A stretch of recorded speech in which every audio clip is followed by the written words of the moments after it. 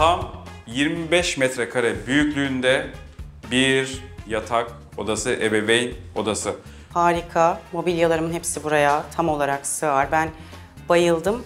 Ama ya madem bu kadar geniş ben hep şey istemiştim. E, yatak odamda böyle karşılıklı iki tane berjer olsun. Ya buraya o da sığar bence. Çok güzel olur. Bercerler son zamanlarda da biraz pahalı olabiliyor.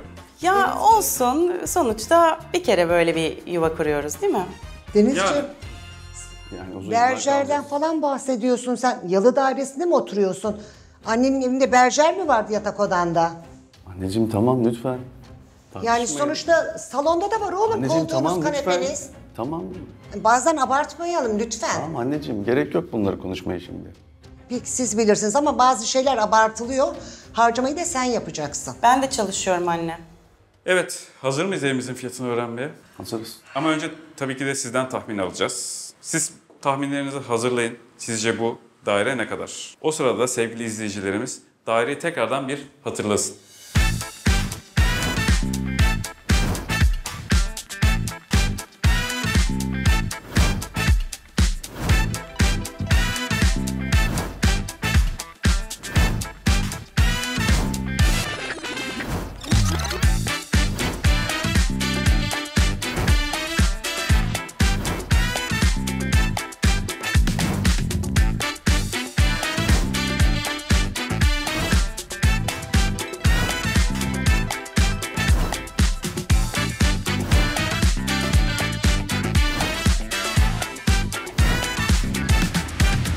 Evet, dairemizi tekrar hatırladık. Sizce bu evin aylık kira fiyatı ne kadar? Bir önceki evde sizden başlamıştık. Haluk Bey'den oğlumuzdan Tabii başlayabilir tabii. miyim? Yani benim tahminim 22 23. 23. Diğer eve göre biraz arttırdım bütçeyi. Evet çünkü mi?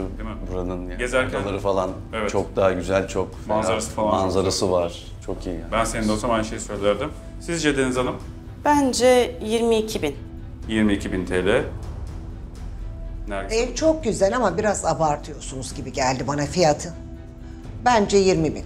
20.000 TL. Evet, evet. O zaman hazırsanız söylüyorum. Bu evi kiralamak istersek ödeyeceğimiz aylık kira fiyatı 21.000 Türk Lirası. Bütçemizin Normal. yanlış hatırlamıyorsam 1000 TL üstünde. Evet üstünde ama yani evin güzelliğine göre normal fiyatı. Bütçe bütçedir tabii ki de. Bunu yine bir konuşup değerlendiririz. Evet, değerlendirmek lazım. Hemen kısa şeylerimizden de bahsedeyim. Ev sahibimiz burada da yine iki depozito istiyor. Artı bina aidatımız olarak 750 TL var. Burada tabii çok hane var. 120 daire var bu sitede. Güvenlik ve açık otopark var. İşte binanın çevre bakımı, temizliği vesaire yapılıyor. Yani 7-24 güvenliğiniz olacak bu aidatın içerisinde. Gayet güzel. Bunda tabii finans hesabı yaparken lütfen hesaba katın. Anladım.